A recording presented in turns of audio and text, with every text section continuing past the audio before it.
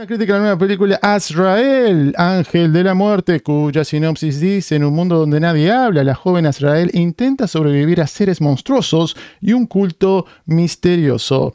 Y el Cats dirige y Simon Barrett escribe el libreto de la película protagonizada por Samara Weaving, entre otros. Si le suena el nombre del escritor, es porque es un gran colaborador de Adam Wingard. Yo tuve la oportunidad de entrevistarlos a los dos por uno de sus primeros proyectos, que fue la película You Are Next. Y esta cinta tiene algo de You Are Next, tiene algo de eh, Blair Witch, en esto de estar siguiendo a una protagonista femenina en el bosque, lidiando en esta ocasión con una aventura de horror y acción de supervivencia en un paisaje post-apocalíptico. Definitivamente entra en la definición de un ejercicio. ¿Vieron cuando escuchan por ahí? Es un ejercicio de eh, tal género, thriller lo que sea. Esto es un ejercicio de horror con elementos de acción en este thriller post-apocalíptico de supervivencia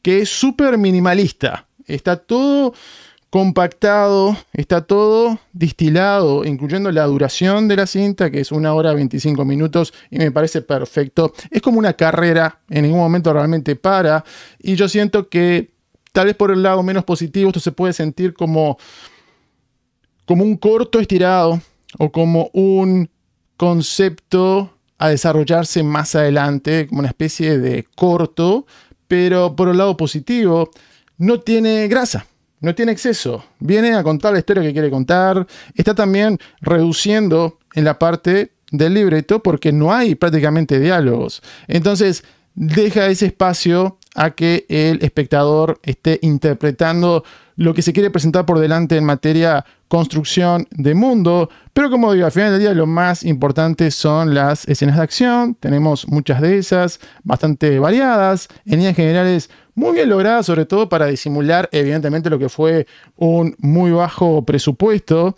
Y si lo vas a ver en la pantalla pequeña, yo creo que está muy bien. Va a salir en las próximas semanas en la plataforma Shudder en Estados Unidos. Ahora está saliendo por una exhibición bastante eh, limitada en algunas salas de cine. Pero siento que para ver en casa la fotografía está muy bien. Lo que tiene que ver con los efectos prácticos, maquillaje, las proezas de acción. Todo por ese lado eh, tiene una buena manufactura, siento que nos regala postales bastante interesantes.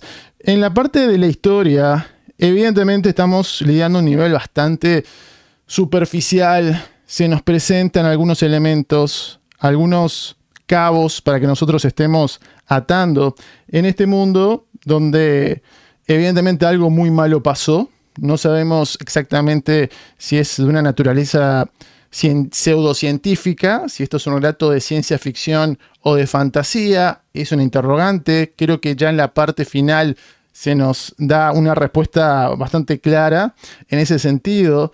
Y tenemos a este personaje que está lidiando con un culto sanguinario que le rinde tributos, que adora a estos seres malignos, abominables que viven en el bosque. Me hicieron acordar un poco a el demonio principal de la primera película de Insidious, pero como rostizado. Si lo hubiesen pasado por el fuego, se estaría viendo como uno de estos seres que son un poco como como zombies, a veces lentos, a veces rápidos, según lo que necesite el libreto. Evidentemente quiere ser como un Midnight Movie, esa película que se pone al final de un día de proyección en un festival de cine, principalmente si es algo de género, de fantasía. Estuvo teniendo su premio precisamente en el Fantastic Fest. Así que por todo eso que creo que puede estar pasando la prueba. Igualmente, gran mérito de esta actriz, de Samara Weaven, que se está entregando mucha fisicalidad. Ella puede comunicar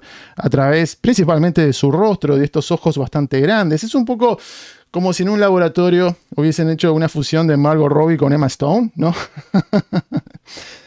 y funciona muy bien para venderte a este personaje un poco contra el mundo y, está supliendo tal vez la falta de carne narrativa que tiene evidentemente todo esto.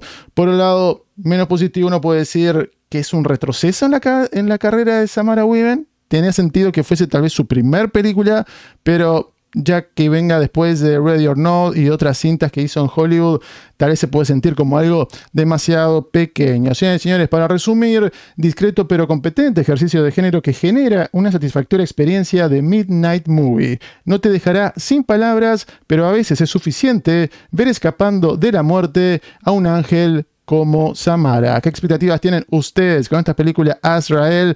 ¿Qué opinan? Si ya la vieron, déjenme saber en los comentarios.